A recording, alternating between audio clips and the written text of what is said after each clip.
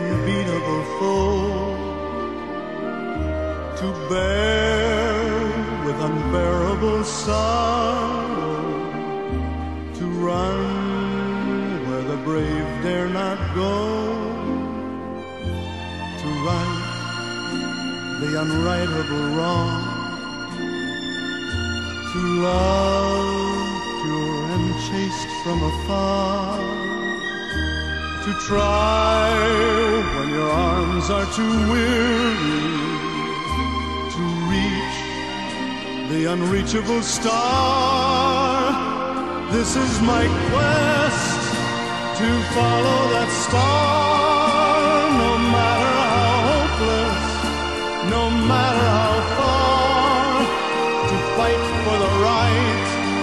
without question or pause to be willing to march into hell for a heavenly cause. And I know if I'll only be true to this glorious quest, that my heart will lie peaceful and calm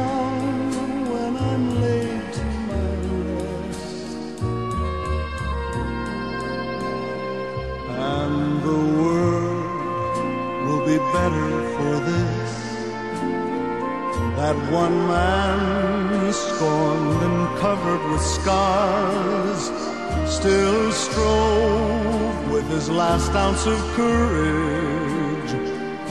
to fight the unbeatable